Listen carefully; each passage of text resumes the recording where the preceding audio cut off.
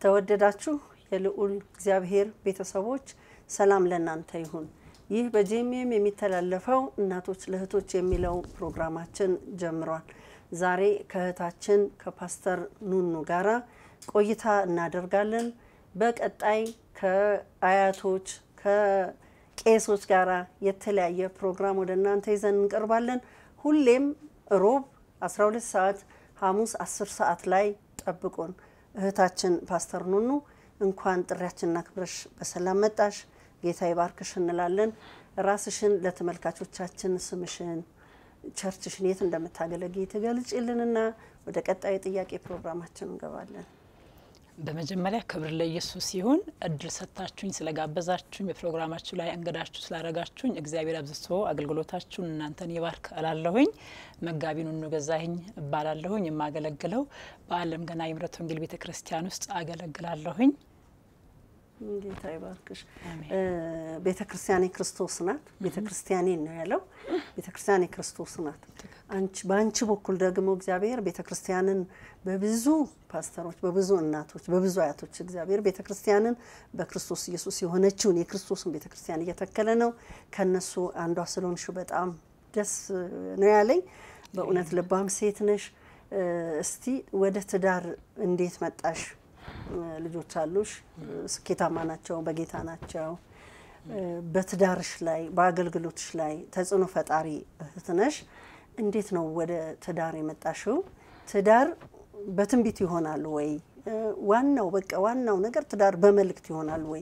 ወይም ትዳር ደግሞ ይሄ ለአንቺ እግዚአብሔር የሰጠሽ ነው፣ ይሄ ለአንተ እሷን እግዚአብሔር የሰጠ ነው በሚል ይሆናል ወይ? ካልሆነስ ቃሉ እንዴት እንደሚለን እስኪ በዚህ ላይ ክብር ለኢየሱስ ይሁን። የትዳር ጀማሪው እግዚአብሔር ነው። ትዳርን ሰው አልጀመረም። እግዚአብሔር በኤደን ገነት አዳምና ሔዋን አዳም በነበረበት ጊዜ እግዚአብሔር ለአዳም ብቻውን ይሆን ዘንድ መልካም አይደለም ሰው ብቻውን ይሆን ዘንድ መልካም አይደለም የምትመች ረዳት የሚለውን እግዚአብሔር ሁሉን ስራውን ከሰራ ከገመገመ በኋላ ብቸኝነቱን አልወደደም። ምክንያቱም ሰው ብቻውን ይሆን ዘንድ መልካም ስላይደለ ለአዳም የሚያስፈልገውን ፈጥሮለታል። ግን ስሜቱን የምትረዳ ፈቃዱን ተረድታ የምትረዳው አልተፈጠረለትም ነበር። ስለዚህ እግዚአብሔር ሰው ብቻውን ይሆን ዘንድ መልካም አይደለም ብሎ ከጎኑ አንዲት አጥንት ወስዶ ሴት አድርጎ ሰርቶ እግዚአብሔር አስቦ አቅዶ ነው ትዳርን ለሰው ልጅ የሚሰጠው እንጂ ሰው አስቦ አቅዶ ትዳርን ማድረግ አይችልም። ትዳር ከእግዚአብሔር ነው የሚሰጠው። ሰው አስቦ ሊማር ይችላል። ሰው አስቦ ሊነግድ ይችላል። ሰው አስቦ ብዙ ነገር ሊያደርግ ይችላል። ትዳርን ግን አስቦ ሰው ማድረግ አይችልም፣ ሰጪው እግዚአብሔር ስለሆነ። ስለዚህ ለእኔ ትዳርን የሰጠኝ እግዚአብሔር አምላክ ነው። እስቲ እንዴት ነው ወደ ትዳር ወደ ትዳር የመጣሁበት ጊዜ በጣም ልጅ ነኝ። እኔ በጌታ በነበርኩበት ዘመን ስደት አለ።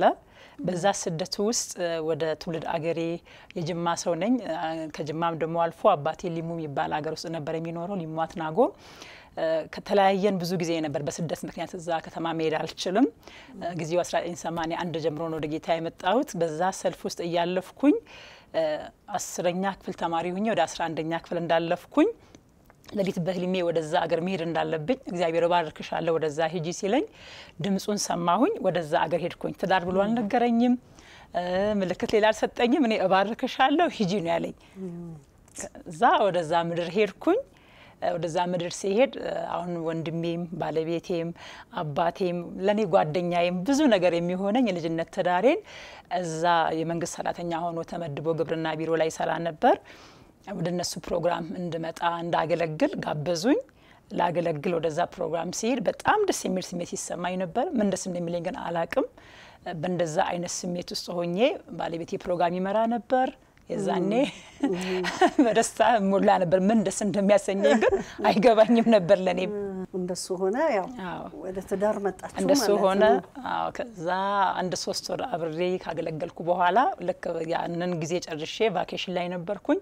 ወደ ጅማ ወደ ሀይ ስኩል ወደ ትምህርት ስመለስ የትዳር ጥያቄ ያቀረበልኝ። ከዛ እንዳቀረበልኝም እኔ እሺ አላልኩኝም። መጸለይ እንዳለብኝ እንደ ክርስቲያን ሰው ሲጠይቀን ወዲያው እሺም እምቢ ማለት የለብንም። እግዚአብሔርን ልንጠይቅ ይገባል። እኛ የእግዚአብሔር ስለሆን የእኛ የሆነው ነገር ሁሉ የእግዚአብሔር ስለሆነ የእግዚአብሔርን ፈቃድ መጠየቅ ስለነበረብኝ ጊዜ ስጠኝ አልኩኝ። እሱም ጊዜ ሰጠኝ። በጸሎት ከእግዚአብሔር ተቀበልሽ እንጂ ተቀበልኩኝ። በሰው አይደለም፣ አይደለም፣ በመልእክት አይደለም። ሚስት ከእግዚአብሔር ዘንድ ናት፣ ሚስትን ያገኘ በረከትን አገኘ ስለሚል።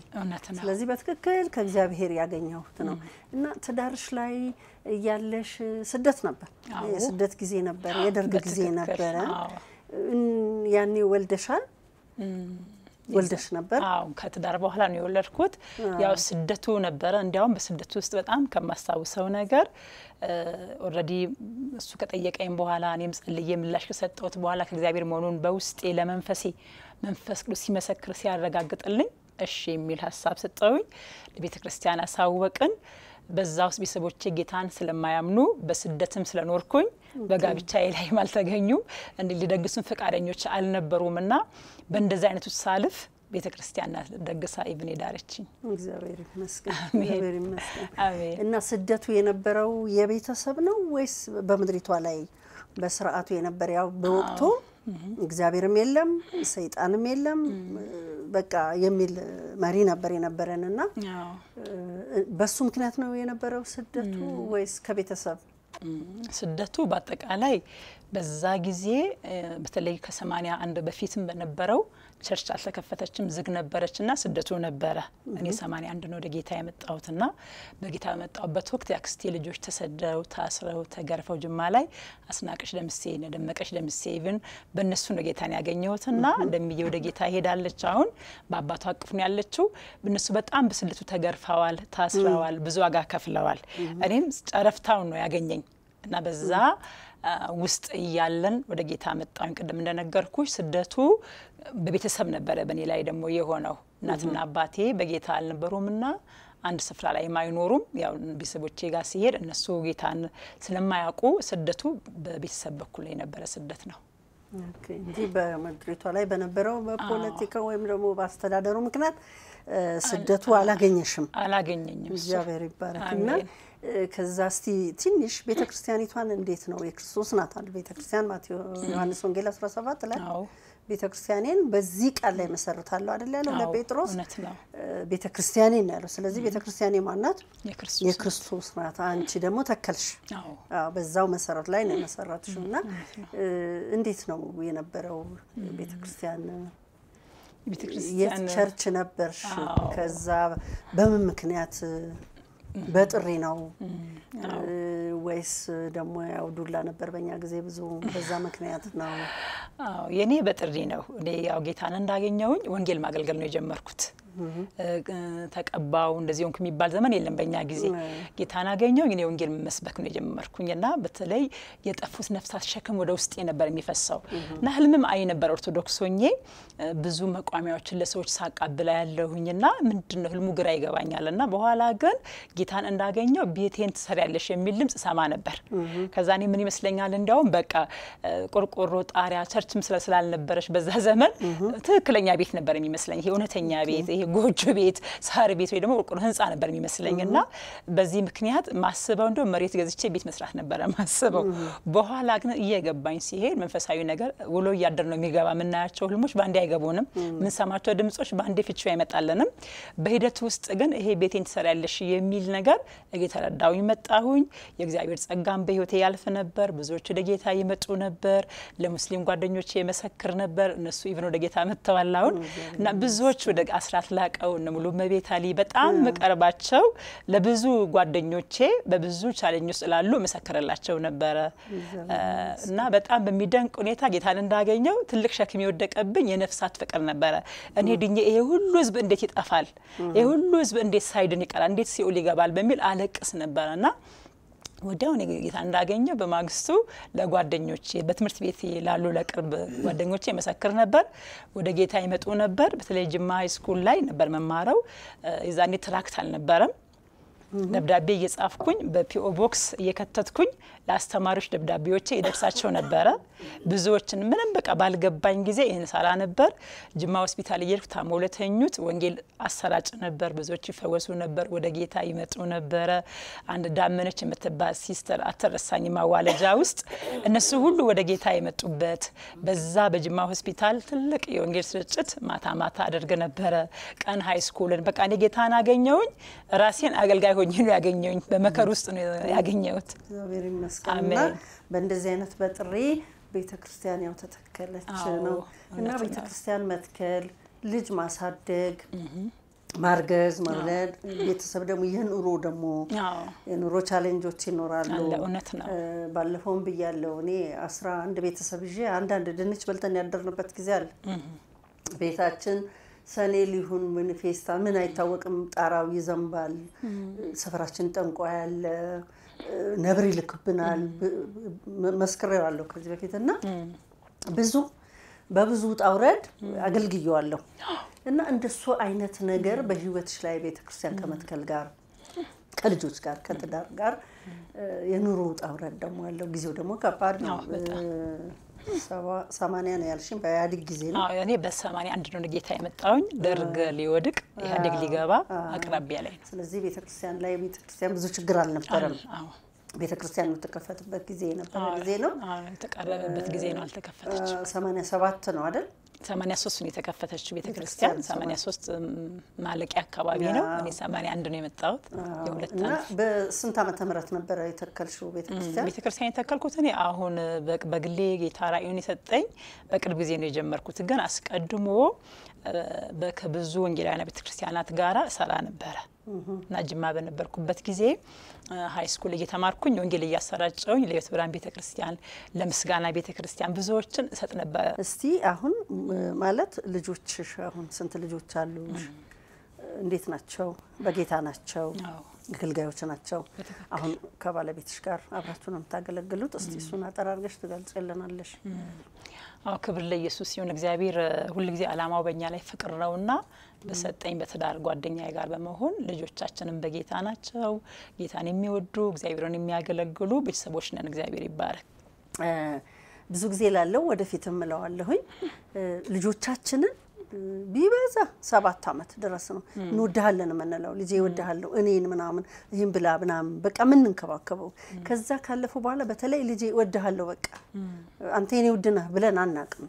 እና በዚህ እያያችሁን ባላችሁ በቤትም ያላችሁት እናንተም ልጆቻችሁን በሩቅም በቅርብም ያሉትን ሁሉ እንወዳችኋለን። ሴት ልጆቻችን፣ ወንድ የልጅ ልጆቻችንን ያገቡ የወለዱትን በቅርብ በሩቅ ያሉትን እኔና አንቺም እዚህ አብረን እንላለን።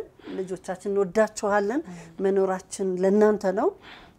ወደፊትም ምንኖረው ለእናንተ ነው እንላለን። ውስጥ በቴሌቪዥንም የምታዩ ተመልካቾቻችን እስቲ ልጆቻችንን እንወዳችኋለን እንበላቸው። ቀላል ነገር አይደለም። ማርያምን ጸጋ የሞላብሽ ወይ ደስ ይበልሽ ብሎ ነው በውስጧ ያለውን እንዴት የሚለውን ጥያቄ ሰበረላት። ስለዚህ ልጆቻችንን እንወዳችኋለን ስንላቸው በፍቅር ይታሰራሉ። እንበላቸው። አዎ ልጆቻችንን እንወዳቸዋለን። አዎ፣ ልጆቼ እኔም በጣም ነው በጣም ነው የምወዳችሁ። የምወዳችሁ። ሀሌሉያም አሜንዬም ባሮክዬም እጅግ እጅግ እወዳቸዋለሁ። ጌታ አብዝቶ ዘመናችሁን ህይወታችሁን ይባርክ። አሜን። እኔም ሰባት ልጆቼን አስራ ሶስት የልጅ ልጆቼን በጣም በጣም ነው የምወዳችሁ። ለዘላለም ነው የምወዳችሁ። መኖሬም ለእናንተ ነው። ጌታ ይባርካችሁ። እስኪ አሁን እንደዚህ እናደርጋለን። ብዙ ጀግና ሴቶች አሉ አይደል? መጽሐፍ ቅዱሳችን ውስጥ ከነሱ አንዷን ጀግና ተጽዕኖ ፈጣሪ የሆነችው በምድሪቷ ላይ በኑሯ ላይ ተጽዕኖ ፈጣሪ የሆነችው ስለ እሷ እናነሳለን። ከዛ አያይዘሽ ለልጆችሽ አንቺስ ምን አቆየሽ? ለምድሪቷስ ምን አቆየሽ? ምድራችን ላይስ ወደፊት እንደ አገልጋይ እንደ ፓስተር እንደ ነቢይ ፓስተር ሲል አምስቱም office ኡ ውስጥ እንዳለ ይገባኛል። እና እንደዚህ እስቲ ለምድራችን ምን እግዚአብሔር ምን ያለሽ ነገር አለ? ወይም ደግሞ ምን ያቆየሽው ነገር አለ? ለልጆችሽስ ያቆየሽውን ነገር እሱን አብረሽ ከዚች ተጽዕኖ ፈጣሪ ከሆነችው ሴት ጋራ አብረሽ ለእኔ ብዙ ሴቶች አሉ መጽሐፍ ቅዱስ ላይ ተጽዕኖ ፈጣሪ የሆኑ ሴቶች። ሩት ግን ለእኔ በጣም ለየት ያለ ስፍራ ነው ያላት በውስጤ። ምክንያቱም ሩት ኑሐሚንን ስትከተላት ኑሐሚን ምንም ነገር የሌላት ባለቤቷ የሞተባት፣ ልጆቿ የሞቱባት፣ በእኛ አገር ቋንቋ በሌላው ዓለም ቋንቋ በቃ የከሰረች ሴት ናት። ሰው ተስፋ የሌለውን ሰው መከተል ይከብዳል። ተስፋ ማይጣልባት ሴት ናት ኑሐሚን። ምክንያቱም እሷ ራሷ ማራ በሉኝ የምትል ሴት ናት። ግራ የተጋባች ሴት ናት እና ግን ወደ ቤተልሔም ልትመለስ ስትወስን ኦፍራን ስትለያት፣ ሩት ግን ፈጽሞ አምላክሽ አምላኬ ማታውቀውን አምላክ አምላኳ ያደረገች ሕዝብሽ ደግሞ ሕዝቤ ነው በሞሽበት እሞታለሁ ብላ ያለምንም ቅድመ ሁኔታ ኑኃሚንን ወዳ የኑኃሚንን ሸክም፣ የኑኃሚንን ጉለት፣ የኑኃሚንን ሐዘን የራሷ አድርጋ ኑኃሚን ልጆች በሌሏት ሰዓት ገንዘብ በሌላት በሐዘን በተመታችበት ጊዜ አልለይሽም ብላ እንደዚህ አይነት ትልቅ ቃል ኪዳን ገብታ የተከተለቻት ሴት ናት። ዛሬ ቅድም እንዳልኳቸው የከሰረውን ግራ የተጋባውን ሰው የሚከተል ሰው የለም። እቺ ጀግና ሴት ግን ለእኔ ያለ ምንም ቅድመ ሁኔታ ጌታ ኢየሱስ ክርስቶስ እኛም በወደደበት የፍቅር ጉልበትና አቅም ልክ ሁኔታን ሳታስቀምጥ ተስፋ የምትጥልባት ነገር ሳይኖር ወደማታውቀው ሕዝብ፣ ወደማታውቀው አገር፣ ወደማታውቀው ካልቸር ተከትላት ሄደች። የራሷን አገር ትታ። እቺ ሴት ምን አይነት ጀግና ሴት ናት! እግዚአብሔርን አታውቀው። ሰምቷለች ድምፁን እንዳንል በፍቅር መነካት ከየትኛውም ነገር በላይ ነው። እውነተኛ ፍቅር ደግሞ ያለ ቅድመ ሁኔታ መውደድ ነው። ዛሬ ሰዎችን ልጆቼ በምትወዱበት ጊዜ ይሄ ሚዲያ የምትከታተሉ ከሰው ይህን አገኛለሁ ብላችሁ ሰውን አትወደዱ። ሰውን ስትወዱ፣ መልካምነትን ስታደርጉ፣ ቸርነትን ስታደርጉ ሩት ያለ ምንም ቅድመ ሁኔታ እንደተከተለቻት እግዚአብሔር ደግሞ ያንን አይቶ እንደ ባረካት በአይን ያልታየ በጆሮ ያልተሰማውን በሰው ልብ የማይታሰበውን በረከት አዘጋጀላት። ዛሬ እርስ በርስ ስንዋደድ፣ ስንከባበር፣ ስንደማመጥ አንዱ ሸክም የኛ ሸክም ሲሆን እግዚአብሔር ለኛ በአይናችን ያላየነውን በጆሮችን ያልሰማነውን በረከት አዘጋጅቶ ይጠብቀናል። ክብር ለኢየሱስ ሲሆን ስለዚህ ሁል ጊዜ ሰው ሲዋደድ እንካ በእንካ ነው። ቀንዲህ ስናረግ እንዲያደርግልሃለሁ ነው እና የዓለም ፍቅር በስጦታ ላይ የተመሰረተ ነው። በጊፍት ላይ የተመሰረተ ነው። በይሉንታ ላይ የተመሰረተ ነው። ስናረግ ነው የሚያደርጉልን በአብዛኛው። የሩት ፍቅር ግን ታረግልኛለች ብላ ተስፋ ማድረግ አትችልም። ኑኃሚንን ኑኃሚን even እንዲህ ብላታለች፣ እኔ ባገባ ልጅ እንኳን ብወልድ አይደርስም፣ ይሄ ነገር አይሆንም፣ ተስፋ አታድርጉኝ ብላ ኑኃሚን ጋር የነበረው ድምፅ እንኳን ተስፋ አስቆራጭ ነው። ሩት ግን አብዝታ ተከተለቻት። ያ ተስፋ ያደረገችው እግዚአብሔር ያ የማታውቀው እግዚአብሔር ያ አምልካው የማታውቀው እግዚአብሔር ግን ስለ እውነተኛ የፍቅር መከተል ባይብል ሲናገር ፍቅር እንድንከተለው ነው የሚፈልገው። ፍቅርን ስንከተል ግን እንካ በንካ ሳይሆን ንጹሕ በሆነ ፍቅር በየዋህነት ያለምንም ቅድመ ሁኔታ ነገ እንዲያደርግልኛል ምላሽ ሳንጠብቅ? ሩት ምንም ምላሽ አትጠብቅም ከኑኃሚን already አርጅታለች ኑኃሚን፣ ባዘን ተመታለች ኑኃሚን፣ ተስፋ ቆርጣለች ኑኃሚን፣ ማራ በሉኝ ነው የምትለው ኑኃሚን። እንደዚህን አይነት ሰው መከተል በጣም ነው ግራ የሚያጋባ ነገር ግን እቺ ሴት አጥልቃ አየች እንዳንል አርቃ ተመለከተች እንዳንል በጌታ አይደለችም።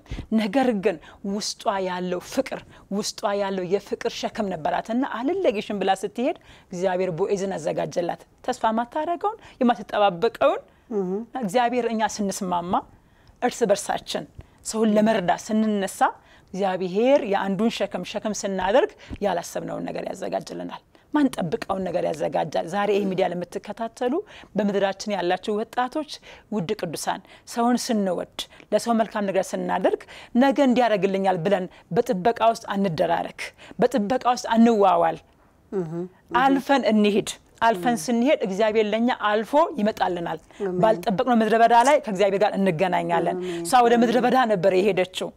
ወደዛ አገር ሄዳ ቃርሚያ እየቃረመች ነበር የምታኖራት፣ ያውም የገብስ ቃርሚያ እየቃረመች የቃርሚያ ጊዜ ነበረና ጊዜው የእርሻው ባለቤት ግን ባሏ እንደሆነ አታውቅም ነበረ። አንዳንድ ጊዜ ዋጋ ስንከፍል የሰውን ሸክም ስንሸከም መንገዳችን በዛ ውስጥ አለ፣ በረከታችን በዛ ውስጥ አለ፣ ረድኤታችን በዛ ውስጥ አለ። እኛ ግን እንደዛ አናይም። የምንጠብቀው ከሰውየው ነው። እንዲህ በሚሆንበት ጊዜ እግዚአብሔር ይክሰናል። ሩት ቃርሚያ ብትቃርምም ሞገስ ያላት ሴት ነበረች። በእንደዚህ አይነት ዋጋ መክፈል ህይወት ውስጥ ስትገባ ሞገሷ ግን ሙሉ ነበረ። በቦዔዝ ፊት ሞገስ አገኘች። በዛ አገር ህዝብ ፊት ሞገስ አገኘች።